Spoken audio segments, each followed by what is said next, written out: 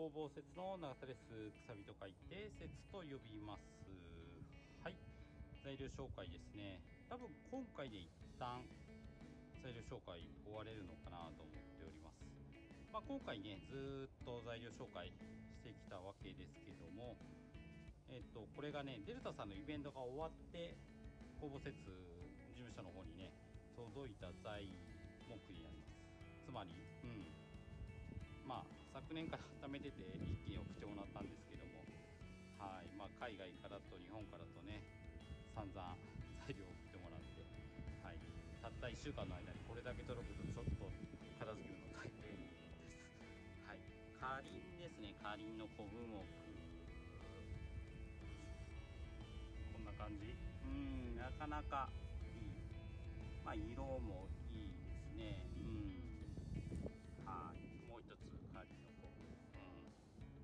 白田が少ないんですけどね。はい。なかなかいいやつ。これの本体ってこいつはもう一つ中もあります。はい。でこっちはテーブル材だったやつですね。はい。えっ、ー、とこっちがいわゆる本カリでこっちがマカとかマーカーってやつ。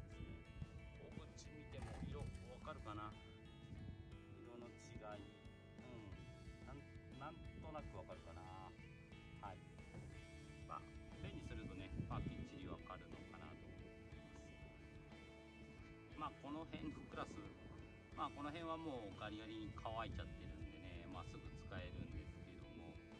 はい。まあちょっと前のねうん。っていのか。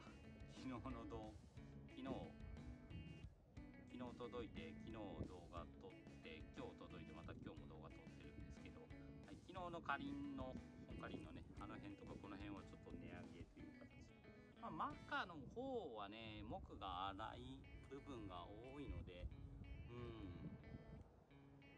多分今まで通りのお値段でずっと出していけれるかなと思っております。はい、えー、そして神代欅玉木ですね。はいまあこんな感じで。上から見ると分かるかな？分かんないかな？ひねってるの分かります？よーひねってますわ。うん。まあすごい古い材でねもうすぐ使えるんですけど。まあ神代欅まあ神代の木はね暴れますね。うんよう触れます。はい。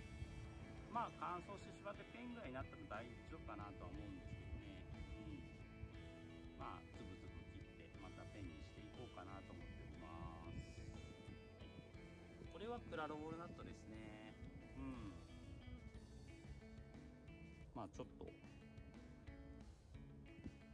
放射組織っていうの分かります？こうやってね。でコブの丸いのがこっち。だからこう見るとこっちの切った断面がねコブに見えるんですよね。はい、まあ、この辺がコブ出てますね。こんな感じです。はい。そしてもう一個最後もう一個カーリンの。これが本体の方こうやってねつぶつ出てるんですけどね真ん中へこむんですよ。バーズアイは逆ですねトゲトゲしてる。逆に最後までトゲトゲしてる。これがバーズアイとコブの違いですね。同じ放射組織なんですけどね。違うんです。はい。こいつは厚みあるのでこいつはこのプロットに取りたいなと思っておりますが。まあ木は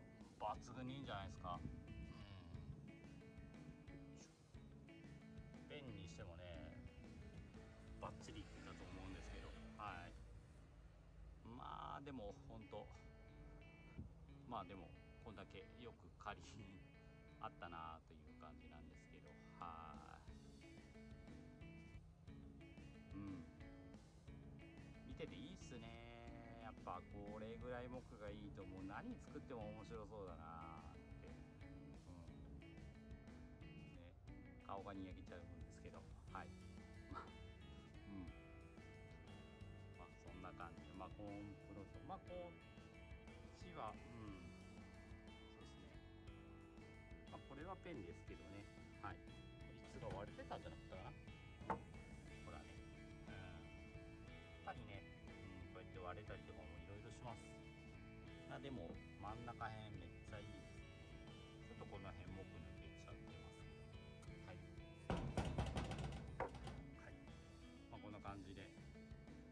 あえず昨年年末までに買った材が全部届いたかな。いやんなわけないな。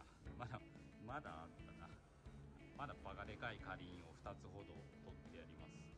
はい黒柿とかねまだ材木屋さんに置いたやつがあるんですけども。いつ取ってこれるやなっていうぐらいですね。はい。